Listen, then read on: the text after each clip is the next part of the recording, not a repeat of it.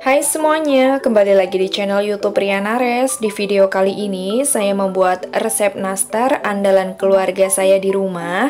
Nastarnya lembut, ngepure, anti seret, lumer dan glowing pastinya. Jadi untuk kalian yang penasaran, ikutin terus videonya sampai selesai dan langsung aja yuk kita ke tahap membuatnya. Yang pertama, saya menyiapkan 200 gram Royal Palmia margarin mix butter. Ini margarin dan butter sudah ada semua ya di sini. Jadi, ini kita gunakan semua sebanyak 200 gram.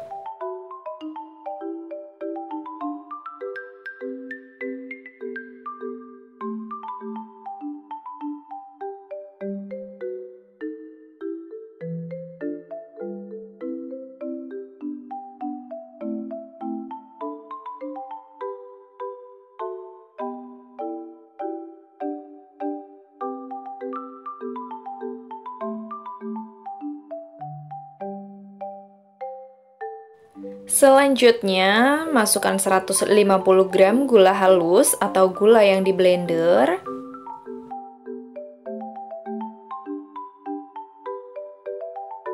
Lalu aduk adonan menggunakan wish sampai tercampur rata.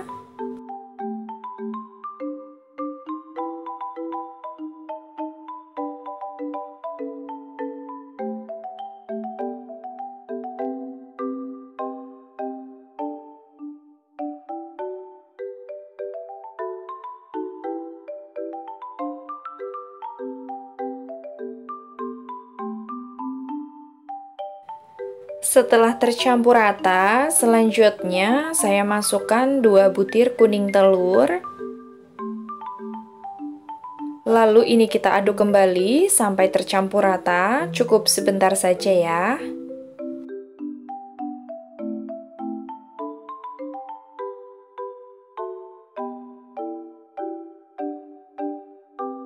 Setelah tercampur rata, masukkan 2 sendok makan susu bubuk dan 300 gram tepung terigu pro rendah saya menggunakan kunci biru. Ini dimasukkannya dua kali ya. Aduk menggunakan spatula kira-kira sampai tercampur rata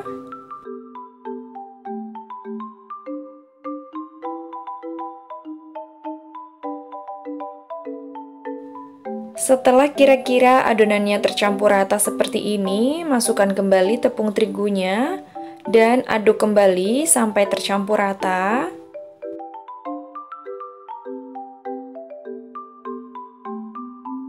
Nah, setelah adonannya kira-kira seperti ini, lanjut kita mengaduknya menggunakan tangan ya. Saya akan menguleninya menggunakan tangan, pastikan tangan kalian dalam keadaan bersih.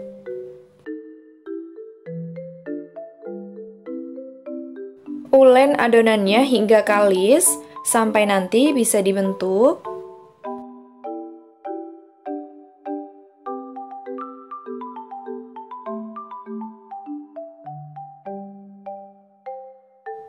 Nah ini adonannya sudah kalis, sudah bisa dibentuk ya. Seperti ini, sudah tidak lengket di tangan. Siap kita bentuk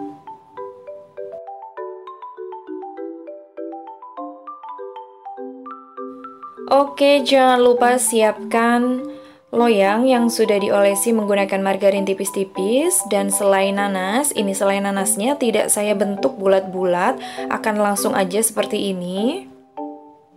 Ambil sedikit adonan atau secukupnya. Di sini saya kira-kira menggunakan satu adonan beratnya 7 gram. Lalu kita pipihkan seperti ini. Langsung diisi menggunakan selai nanas ya. Nah, secukupnya. Lalu tutup. Pastikan tidak ada yang uh, terbuka ya, kemudian pulung sampai rapat. Nah, sampai seperti ini. Lakukan cara yang sama hingga selesai. Nah, di resep nastar andalan keluarga saya ini diharuskan memakai margarin dan butter ya, karena membuat rasanya lebih enak, gurih, wangi, dan legit. Lebih enaknya lagi kalau di mix margarin dengan room butter ya. Itu kalau ada, kalau nggak ada kita bisa memakai ini aja ya, Royal Palmia yang margarin mix butter.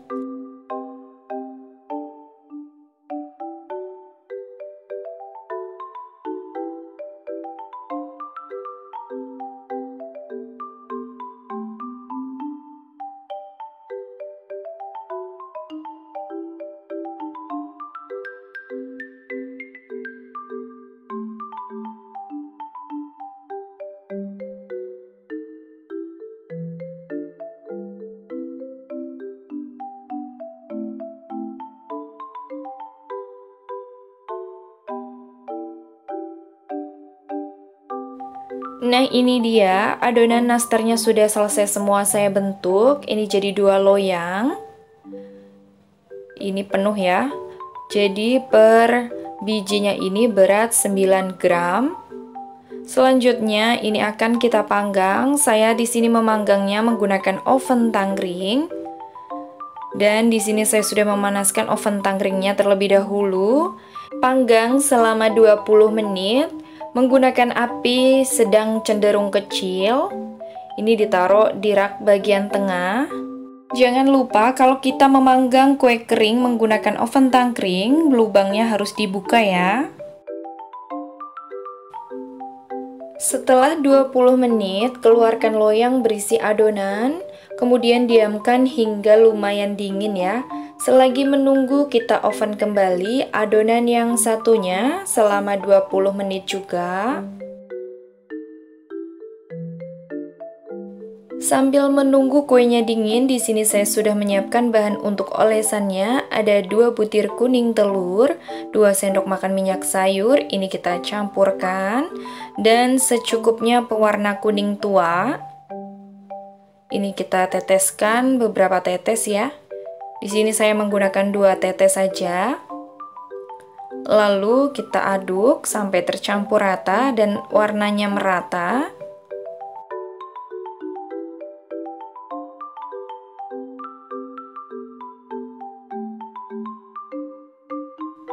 Setelah selesai, ini siap kita gunakan.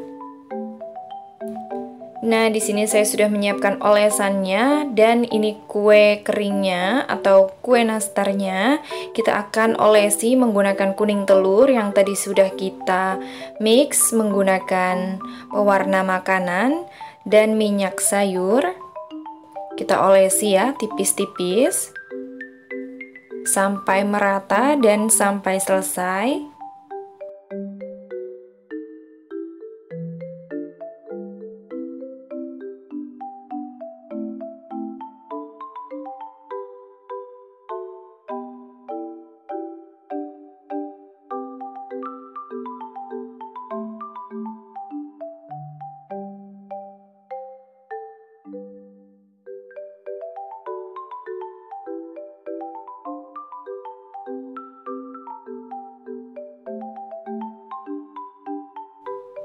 Nah, setelah selesai, kemudian ini kita diamkan selama 5 menit.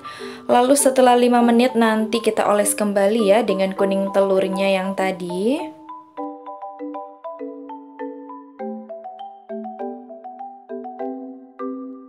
Nah, setelah 5 menit, ini akan saya olesi kembali menggunakan kuning telur. Ini diolesinnya tipis-tipis aja sampai selesai.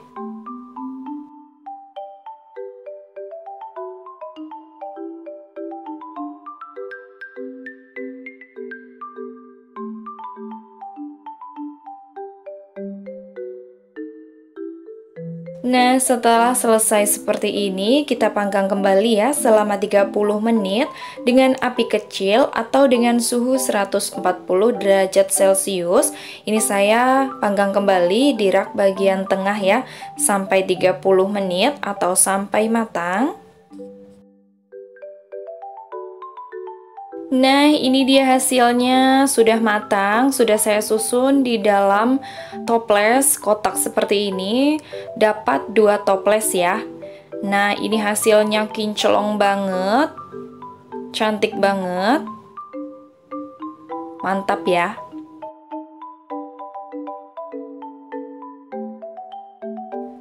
Dan bagian bawahnya pun cantik banget, tidak gosong sama sekali. Ini kematangannya itu sempurna banget, pas, dijamin.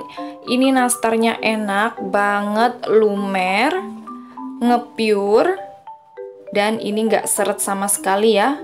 Glowing dan anti retak. Bagus banget ya, mantap.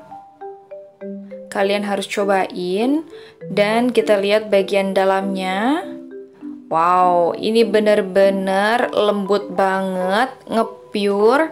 Kalau dimakan ini pasti lumer ya di mulut. Dan ini pokoknya anti seret, enak banget.